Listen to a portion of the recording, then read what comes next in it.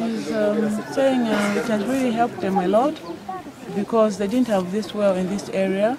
They had shallow wells, and then the shallow well was there. There was a man who manned the shallow well, and he never used to allow them to draw water. So the only nearest place was uh, about six miles away from here. That's where they were drawing the water from.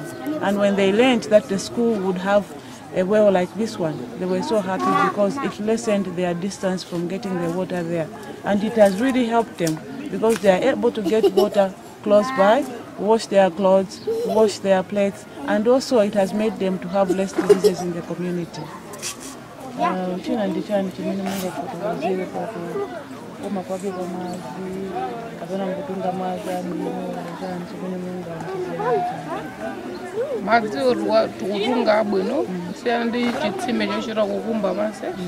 Eh, uyu ndi njigo ndiyati ah, madzi amakhala abwino She's saying again, uh, despite that, again, we are drinking clean water from here because from the shower well, you can have maybe animals, plants going in it. And again, at the same time, we had some of our young kids, they were falling in the shallow well. So it was really risky.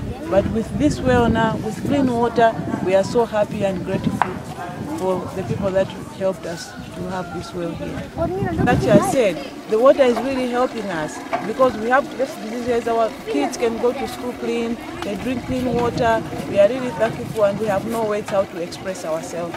We really thank God that the water is here now.